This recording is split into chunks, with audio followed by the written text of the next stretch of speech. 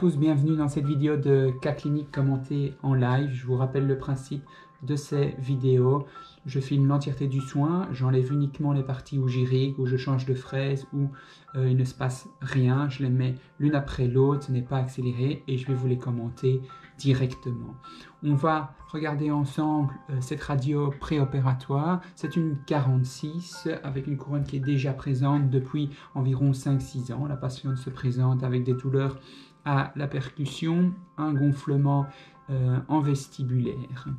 Euh, au niveau de la radio, vous pouvez voir que la lésion apicale elle est principalement sur la racine mésiale on voit qu'on est un petit peu court au niveau de l'obturation.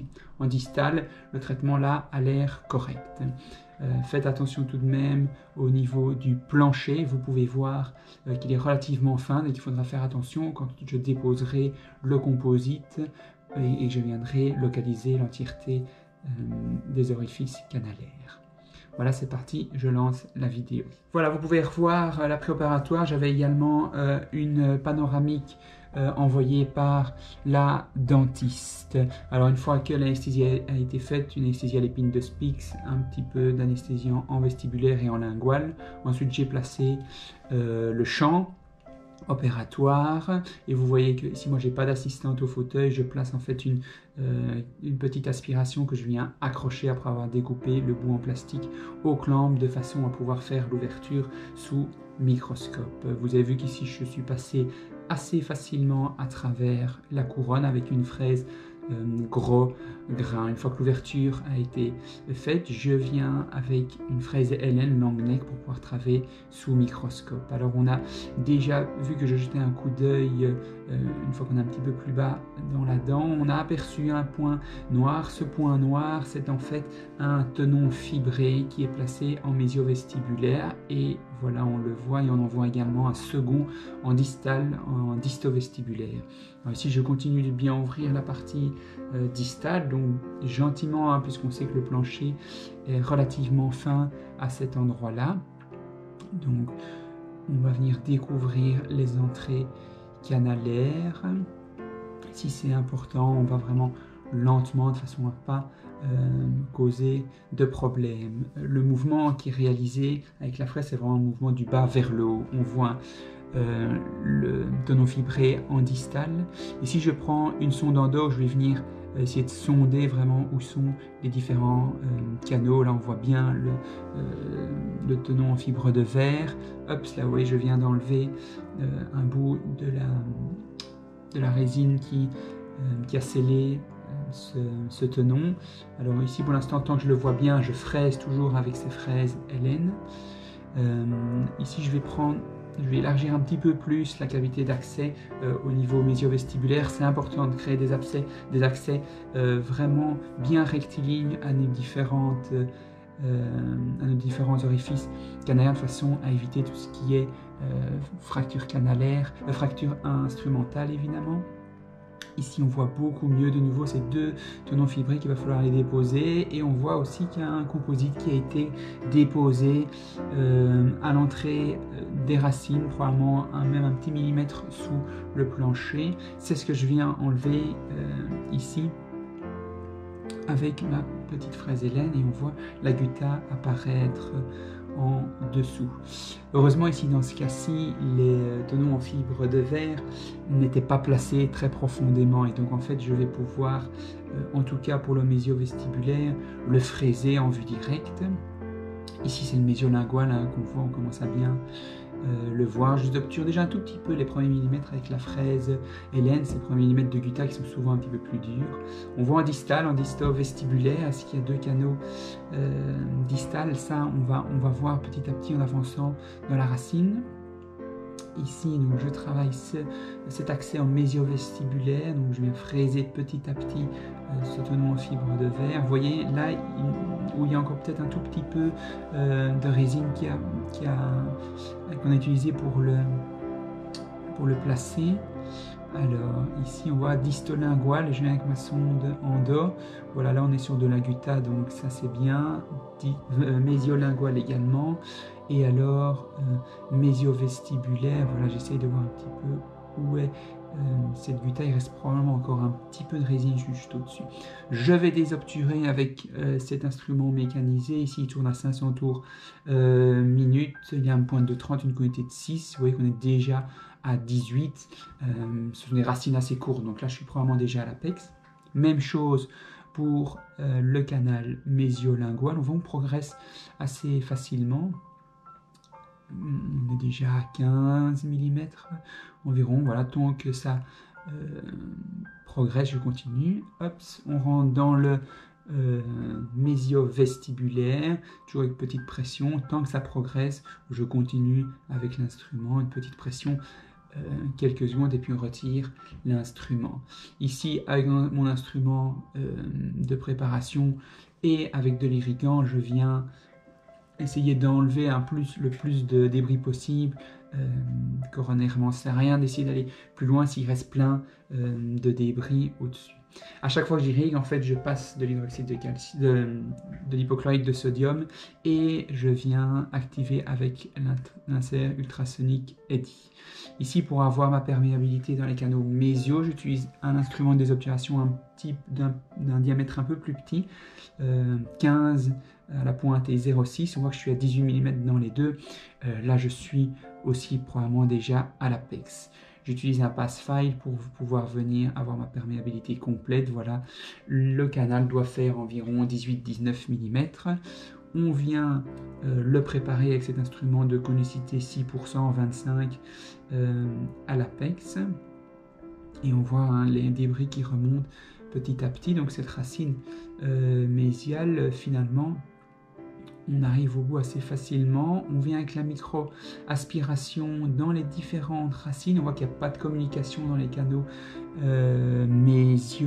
Et en distal, on voit ce canal qui est vraiment localisé en euh, lingual, alors que quand c'est pas euh, bien symétrique, il y a probablement un quatrième canal. Donc ici, il est euh, en disto-vestibulaire, mais il est bloqué par ce tenon en fibre de verre. Donc là, avec des lignes cas ultrasonores, je vais venir gentiment euh, le, vibrer et enlever des petites particules. Je fais quand même une petite vérification au niveau euh, de cet isthme entre les deux canaux mésiaux pour être sûr qu'on n'ait pas un isthme plus profond ou alors un canal supplémentaire à cet endroit-là. Ça arrive encore régulièrement sur ce genre euh, de molaire inférieure.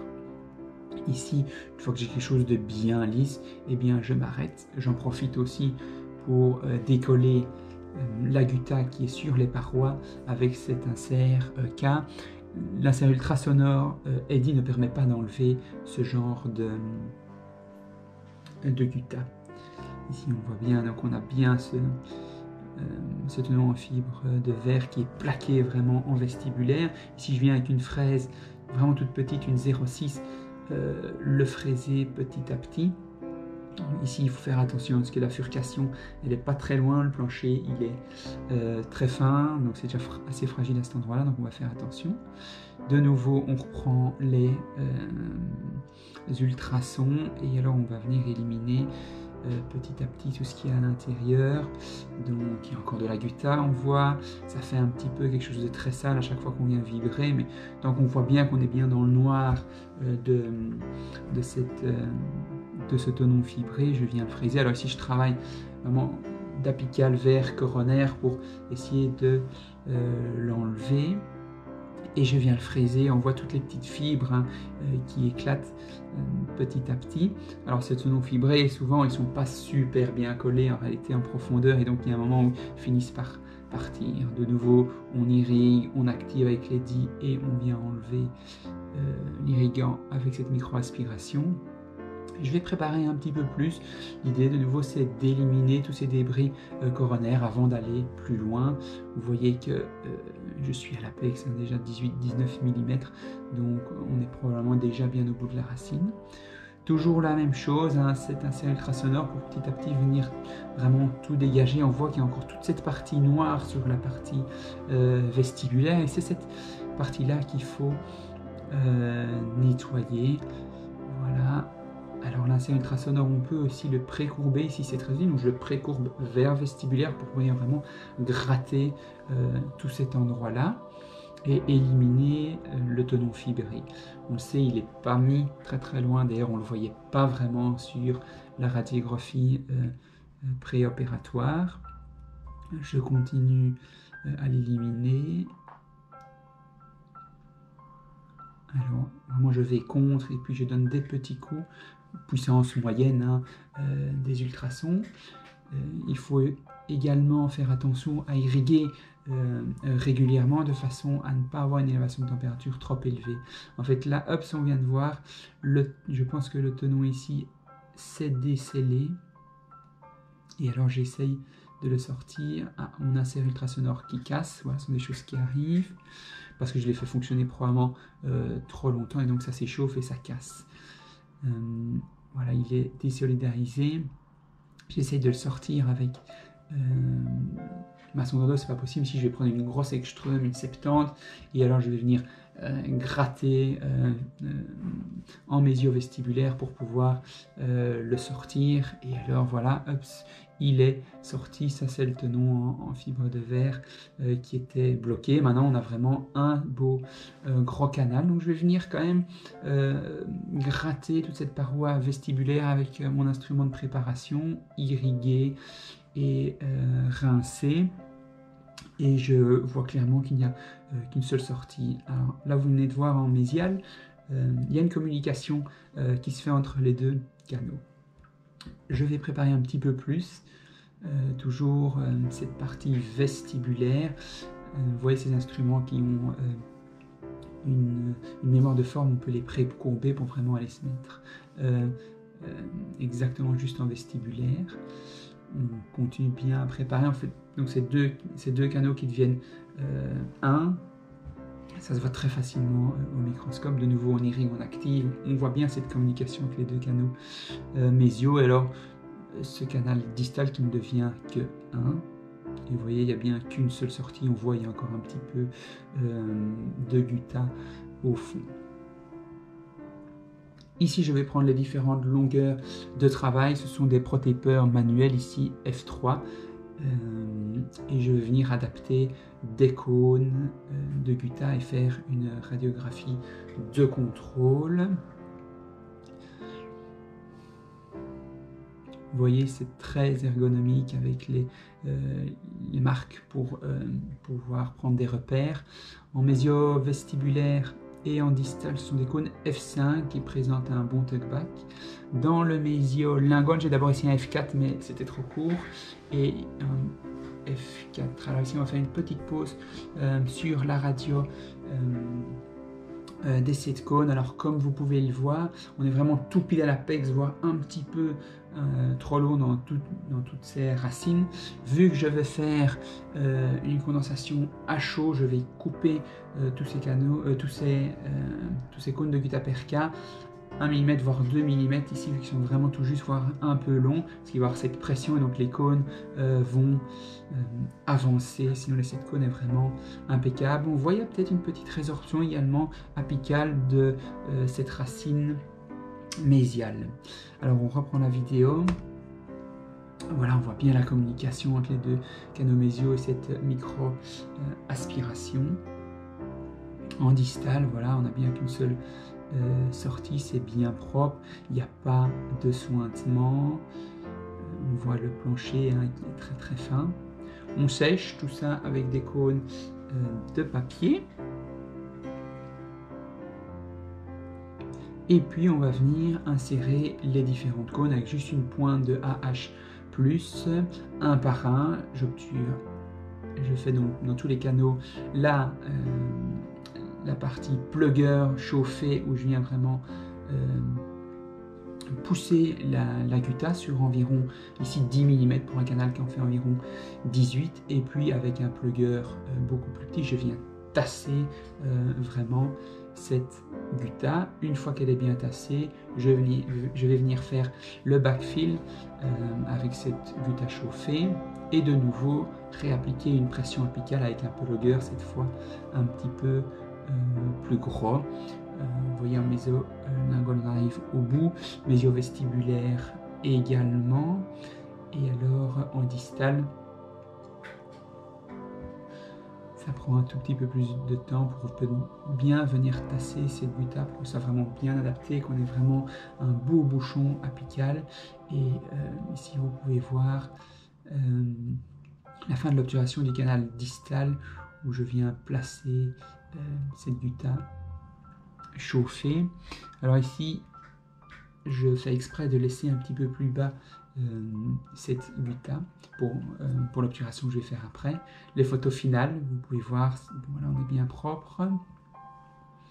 Et ici, la première radio euh, d'obturation qui est orthocentrée, on va faire une petite pause dessus, on en est vraiment pile poil à l'apex. vous voyez que mon obturation était on va dire 2 mm sous le plancher, c'est en fait pour pouvoir euh, venir placer euh, un composite très très bas dans les racines euh, pour garder une, bonne solidité au niveau du faux moignon qui est en dessous. Je fais toujours une seconde radio ici, à chaque fois disto-centré, et là on peut vraiment apprécier en fait que les deux canaux mésiaux se rejoignent vraiment dans la partie toute apicale, il y en est vraiment tout pile à notre apex. Voilà, j'espère que le cas euh, vous a plu. Euh, si ça vous a plu, n'hésitez pas à aimer, partager ou vous abonner à la chaîne. Toutes les semaines, on sort, je sors des nouvelles euh, vidéos de cas cliniques ou de nouveaux instruments que j'ai achetés. Voilà, à bientôt, merci beaucoup.